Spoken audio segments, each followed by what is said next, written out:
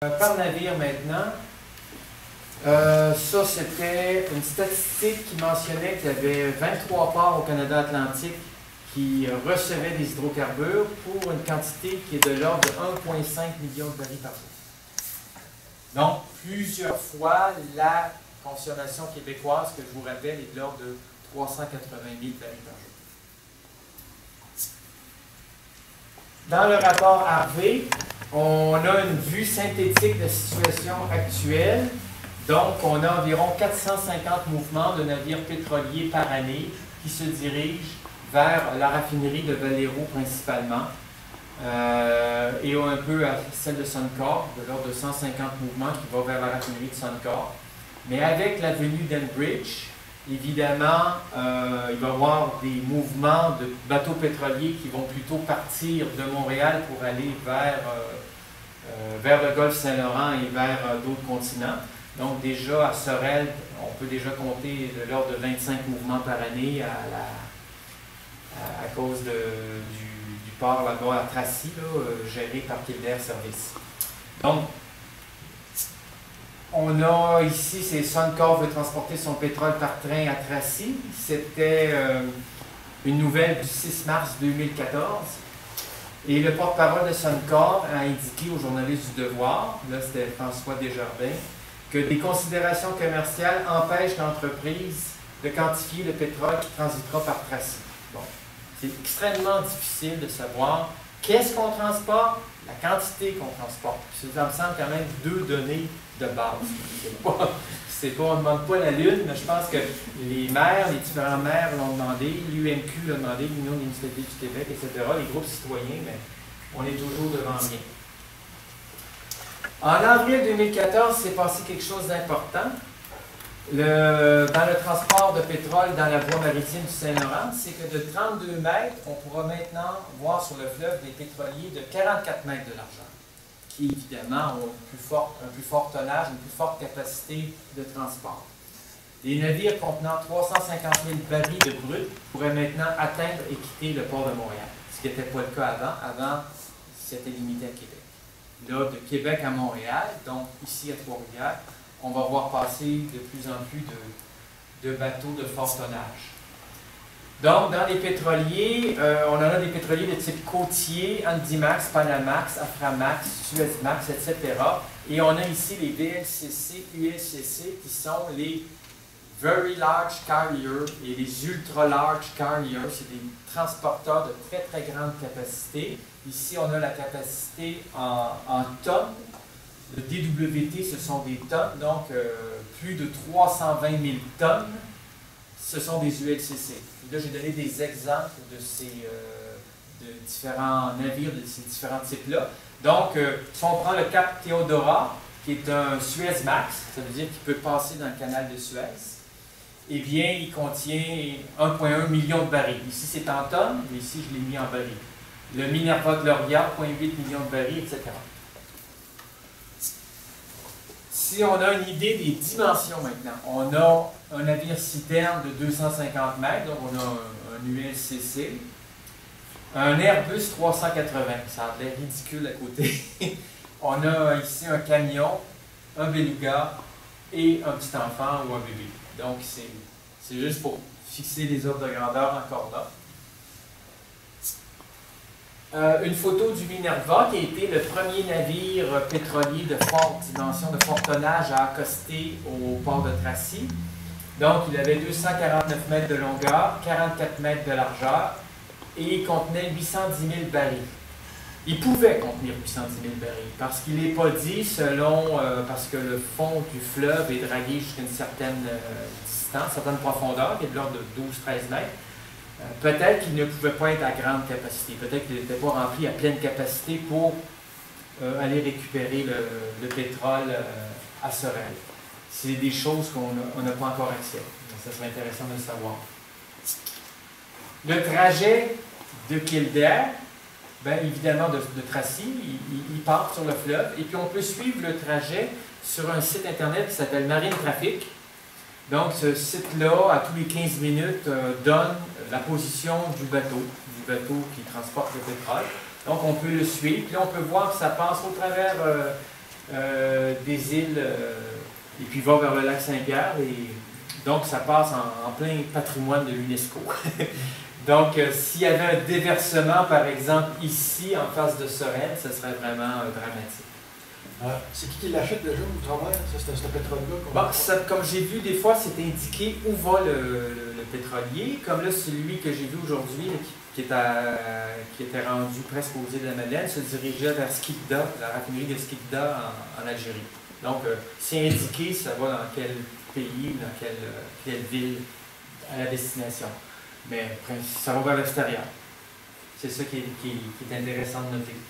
Donc, ça, c'était le Minerva Gloria, le 24 septembre 2014, est parti là. Et puis là, une heure et demie plus tard, il était rendu au lac Saint-Pierre. Une heure et demie plus tard, il passait sous le pont La Violette, etc. Puis après une journée, il a un peu quitté la, voie navigable du Saint-Laurent. Donc, euh, le 11 octobre 2014, j'avais trouvé 10 bateaux sur le fleuve Saint-Laurent en même temps. C'est-à-dire qu'ils ne sont pas au même endroit, mais ils sont sur la voie navigable. Il y en a de fort tonnage, comme le Jeanne Mare d'Athée de 107 000 euh, tonnes. Et puis la, somme donnait 291 000 tonnes. Il y avait 291 000 tonnes de produits pétroliers. Est-ce que c'est du brut ou non, je ne sais pas.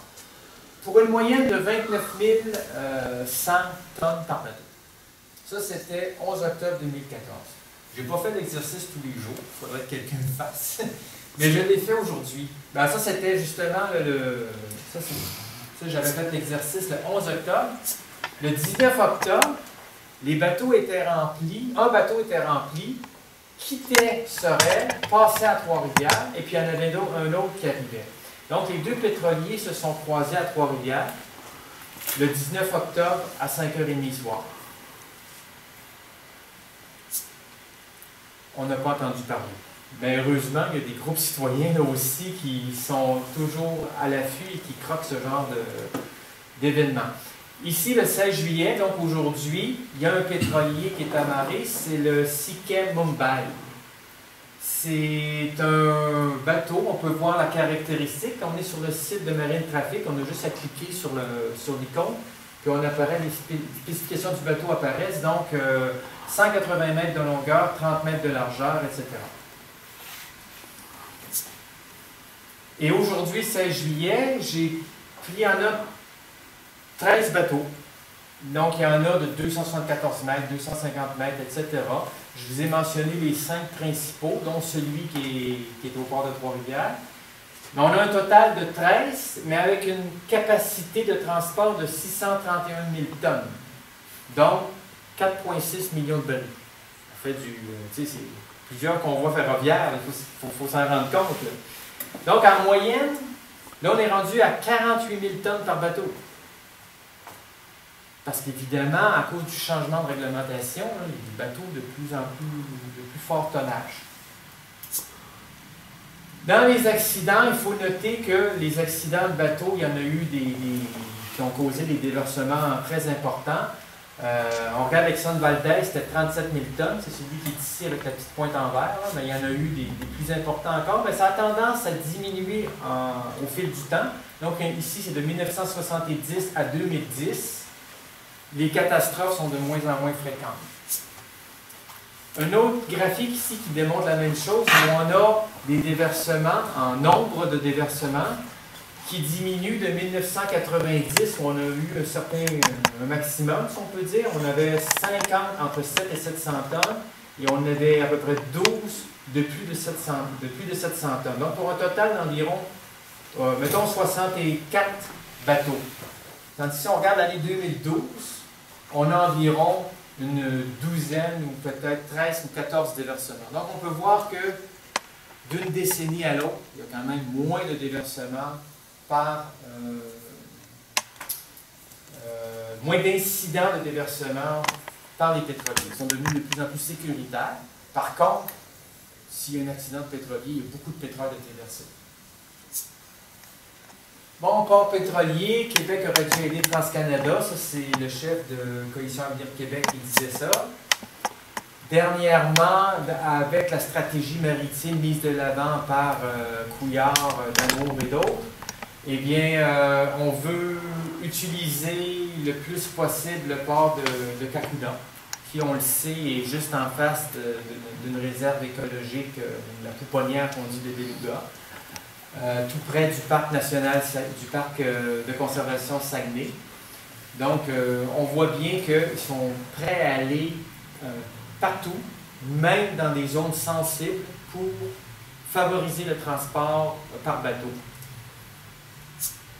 Euh, ça, c'était un article d'hier dans Le Devoir. C'est un texte d'opinion de Jacques Tétrault, notre porte-parole au RVHQ, qui euh, parlait justement du fait que Philippe Couillard aime à dire que le Québec est très très propre et on combat les, on lutte efficacement contre les changements climatiques, mais d'un autre côté, tous les projets qui se développent à l'heure actuelle sont plutôt très très émetteurs de gaz à effet de serre. Des déversements coûteux, c'est curieux, mais c'est ici, là, c'est à Trois-Rivières, comme vous le savez sans doute, vous avez reconnu le, petit bateau qui est là, le Choke Determination. Euh, le 22 janvier 2015, on avait établi que ça avait coûté euh, un peu plus d'un million de dollars pour enflouer le bateau.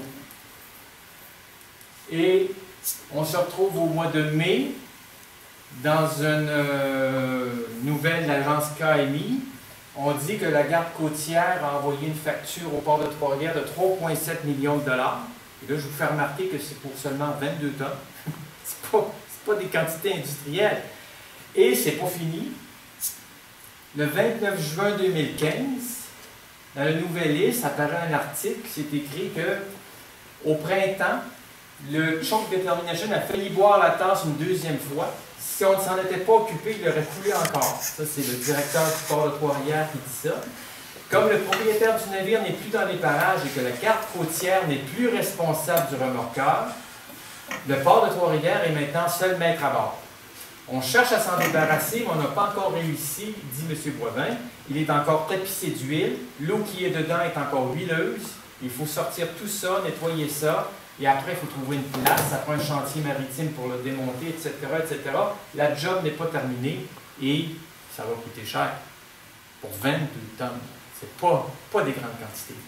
Mais c'est juste pour vous dire que l'eau et le pétrole font pas bon ménage. L'agrandissement du port pétrolier à Trois-Rivières. La zone actuelle, c'est la zone ici qui est en jaune, qui, qui s'étale jusque la marina. Et là, ici, on a la Kruger, on reconnaît ici les différents euh, réservoirs, etc., de la, de avec l'usine ici. Et puis là, on a l'agrandissement prévu pour le port de Trois-Rivières qui se rend pratiquement jusqu'au euh, quai des pêcheurs ici. Euh, donc, on a différentes zones. Puis il y a une zone ici avec un duc d'algues. C'est comme une jetée pour permettre d'amarrer des navires ici au bout de la jetée. À quoi ça va servir, c'est pas indiqué. On ne le sait pas. Il y a eu euh, un projet qui a été déposé pour une évaluation environnementale.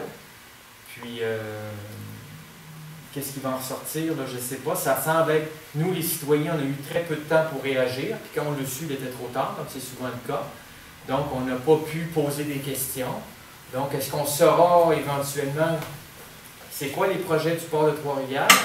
Je ne pense pas que ça, en cognant à leur porte qu'on va avoir la réponse. Il va falloir qu'on use de, finesse un peu et d'intelligence pour avoir euh, ces renseignements-là. Ce qui veut dire que l'accès à l'information à Trois-Rivières, non, dans ce cas-ci. Bien là, c'est le port de Trois-Rivières, c'est une institution privée. Donc, les avantages du transport par navire, capacité très grande, on l'a vu, beaucoup moins cher, c'est à 1 et 3 le baril. On utilise en général les bateaux à 85% c'est-à-dire qu'ils partent plein, ils reviennent plein, puis à peu près 85% plein, si je peux dire. Il n'y a pas de perte de qualité durant le transport. Évidemment, il n'y a pas des lots de pétrole qui se mélangent. Donc, le pétrole, en principe, vient d'une seule source. Euh, donc, ce sont les, les, avantages. Par contre, il y a des frais d'utilisation qui s'ajoutent. Puis ça, je crois qu'on le voit dans la prochaine diapo.